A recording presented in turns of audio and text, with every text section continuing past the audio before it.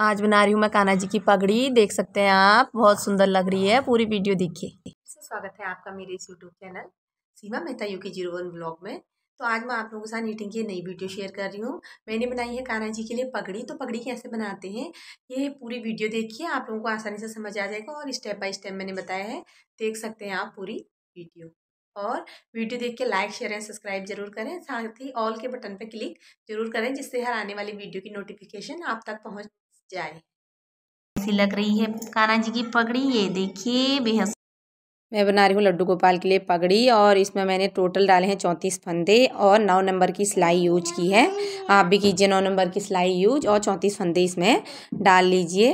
और step by step आप लोगों को हर चीज़ बताऊँगी तो आसानी से आप लोगों को समझ में आ जाएगा। फंदे डालने, कैसे डालते हैं ये मैंने डिस्क्रिप्शन में लिंक अपलोड किया है। आप डिस्क्रिप्शन में जाके चेक कर सकते हैं और देख सकते हैं कि फंदे कैसे डालते हैं। तो सबसे पहले हम उल्टा उल्टा बिनेंगे। देख सकते हैं तागा अपनी तरफ़, सिलाई अपनी तरफ़ रखते हुए पूरी लाइन को उल्टा कंप्लीट करेंगे। इस तरीके से मैंने ये उल्टा उल्टा बिनते हुए पूरी लाइन कंप्लीट कर दिए। इसी तरीके से आपने भी पूरी लाइन कंप्लीट करनी है। तागा अपनी तरफ़, सिलाई अपनी तरफ़ रखते हुए। और जो पीछे की साइड है, पीछे की साइड भी हम उल्टा उल्टा ही बनाएँगे। ये देखिए। इसी तरीके से मैं चार लाइनें बना के दिखाती हूँ आपको। चार लाइन, जैसे दो लाइनें अभी हो गई। अब तीन आगे से तीन पीछे से और कंप्लीट करके पूरा दिखाती हूँ। चार लाइनें पूरी कंप्लीट करके। अब यहाँ पर हम एक दूसरा तागा यूज़ करके, दूसरा क्या मतलब वाइट तागा यूज़ करके, क्योंकि मैं रेड और वाइट में बना रही हूँ। और अब हम फोर सिलाइयाँ सीधी सीधी बना लेंगे। इस तरीके से धागा पीछे, सिलाई पीछे करते हुए फोर रो सीधी सीधी कंप्लीट कर लेंगे। फोर आगे से और फोर पीछे से। ये देखिए। पीछे की साइड तो हम इसको उल्टा ही बनाएँगे और आगे की साइड इसको मैं सीधा बना रही हूँ। सकते हैं, आगे की रो मैंने इस तरीके से कंप्लीट कर ली सीधी सीधी बिनते हुए। ये ये देखिए आप, और पीछे की रो कैसा करना है वो बताती हूँ। पीछे हमने उल्टा उल्टा बिनना है, यानी कि तागा अपनी तरफ़, सिलाई अपनी तरफ़ रखते हुए इस तरीके से पूरी रो कंप्लीट करेंगे। इसी तरीके से हमने चार रो आगे से और चार रो पीछे से कंप्लीट करने हैं। पूरा करके दिखाती हूँ। ये देख सकते हैं आप, मैंने चार लाइनें नीचे भी कंप्लीट कर दी, चार लाइनें ऊपर भी कंप्लीट कर दी है। मतलब चार आगे से चार पीछे से। जब हम दो लाइन कंप्लीट करते तभी हमारा एक स्टार्ट दिखना स्टार्ट होता है रो अब मैं क्या करूँगी? अब मैंने उल्टा बिनना है रेड से दो लाइनें दो आगे से दो पीछे से। आगे भी उल्टा उल्टा ही बनाएँगे इस तरीके से और पीछे से भी उल्टा उल्टा ही बना के दिखाती हूँ आपको। देख सकते हैं आप, पगड़ी में एक डिज़ाइन भी आ गया है यहाँ पर एक लुक और दो लाइनें आगे से दो दो पीछे से मेरी कंप्लीट हो चुकी है। अब फंदे किस तरीके से कम करने देखो, इस तरीके से दो फंदे लिए।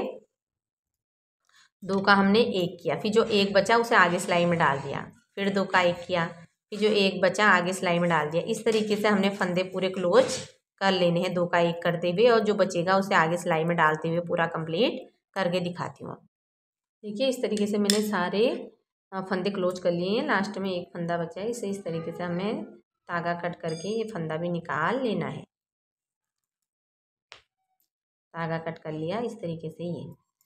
ये मेरा पकड़ी का तैयार हो गया है। बनाना है ये देखिए। इस तरीके से हमने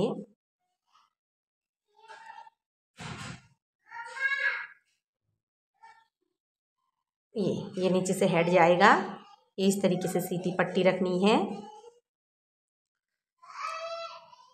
एक मिनट, जो देखिए, ये भाग देखिए यहाँ पर है। इस तरीके से हमने ये सीधी पट्टी रखनी है इस तरीके से यहाँ पर। और जो ऊपर से सिलती हूँ और ऊपर से भी इस तरीके से बंद करके दिखाती हूँ आपको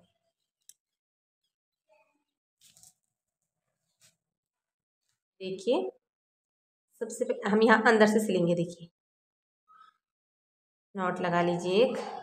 मिनट मैंने इसमें एक गांठ लगा लीजिए तागे में।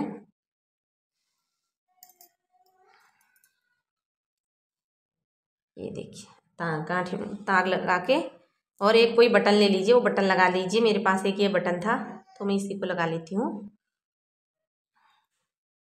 ये देखिए एक दो बार पक्का कर लीजिए जिससे कि ये खुले ना। ये काफ़ी अच्छी पगड़ी रेडी होने वाली है मेरी अभी देख सकते हैं। मेरा तागा ये देखिए पगड़ी तैयार हो गई है पीछे से भी सिल के और काफ़ी सुंदर लग रही है।